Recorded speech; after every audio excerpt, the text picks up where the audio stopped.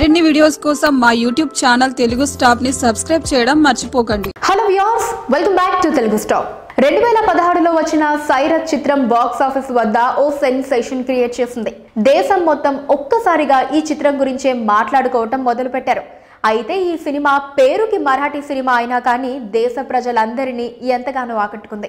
భాష అర్థం కాకపోయినా భావం అర్థం చేసుకుని ప్రజలందరినీ కంటతడి పెట్టించింది. అంతేకాకుండా ఈ చిత్రం కలెక్షన్స్ పరంగా కూడా బాగానే రాబట్టింది. మరాఠీలో వచ్చిన ఈ చిత్రం నాలుగు కోట్లతో తెరకెక్కి వంద కోట్లకు పైగానే కలెక్ట్ చేసిందంటే అర్థం చేసుకోవచ్చు. ఈ సినిమా గొప్పతనం గురించి. అయితే ఇదే సినిమాను శ్రీదేవి పెద్ద కూతురు జాన్వీ కపూర్తో దడగ్గా రీమేక్ చేశారు. ఈ సినిమా రీమేక్ తోనే అందాల నటి శ్రీదేవి కూతురు జాన్వీ కపూర్ సినిమాల్లోకి అడుగుపెట్టింది. ఈ సినిమాలో ముఖ్యంగా దేశంలో జరుగుతున్న పరువు హత్యలను ఒళ్ళు జలధరించేలా చూపించాడు నాగరాజ్ మంజులే. ఈ సినిమాతో ఒక్కసారిగా నాగరాజ్ మంజులే బాగా పాపులర్ అయిపోయాడు.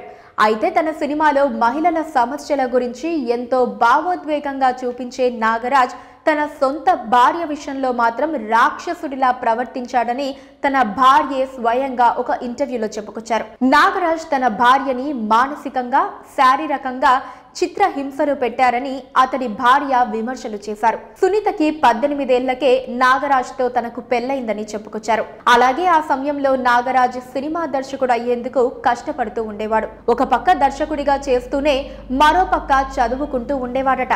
దాంతో చదువుల నిమిత్తం వేరే నగరానికి వెళ్ళి చదువుకోవటంతో కుటుంబ భారం మొత్తం సునీత మీద పడింది. ఎందుకంటే సునీత ఆ ఇంటి పెద్ద కోడలవ్వటం వలన కుటుంబ బాధ్యతలు చేపట్టింది. ఎన్ని కష్టాలు వచ్చినా గానీ కుటుంబ బాధ్యతల్ని మాత్రం విస్మరించలేదు. ఎందుకంటే నాగరాజ్ అంటే సునీతకి అంత ప్రేమ గౌరవం కాబట్టి. కుటుంబంలో చాలా సమస్యలు వచ్చినా నాగరాజ్ మీద ప్రేమతో అవన్నీ తాను భరించినట్లు సునీత చెప్పుకొచ్చారు. అంతేకాకుండా నాగరాజ్ మంజులే దర్శకత్వంలో వచ్చిన షార్ట్ ఫిలిం పిస్తూల్ యాకు జాతీయ అవార్డు వచ్చిన విషయం తెలిసిందే. అయితే ఆ అవార్డు అందుకోవటానికి ఫ్యామిలీ మొత్తం ఢిల్లీ వెళ్ళారట.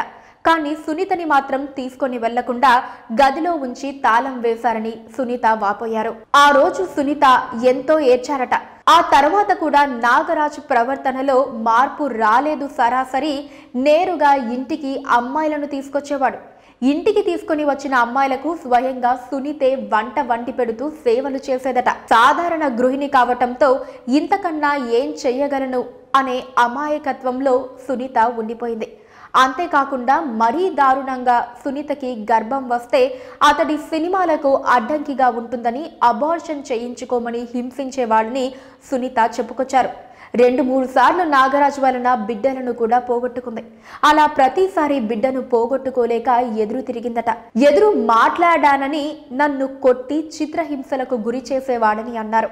ఇంకా నాగరాజ్ పెట్టే బాధలు భరించలేక ఈ హింసాత్మక కాపురం చెయ్యలేక తన తల్లిదండ్రుల వద్దకు వెళ్ళిపోయిందట.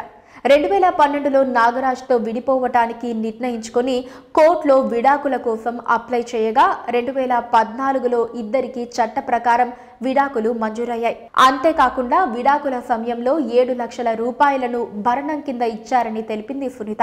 ఇప్పుడు బతకడానికి ఏదో ఒకటి చెయ్యాలి కదా.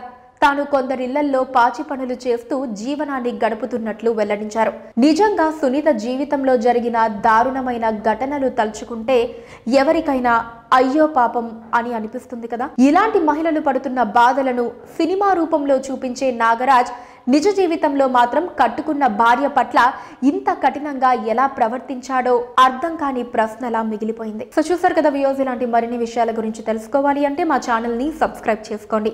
అండ్ అలానే ఈ వీడియో మీద మీ అభిప్రాయాన్ని నాకు కమెంట్ చేయడంతో పాటు ఈ వీడియోని లైక్ అండ్ షేర్ చేయడం మర్చిపోకండి. Please subscribe to Telugu Please subscribe Telugu Star.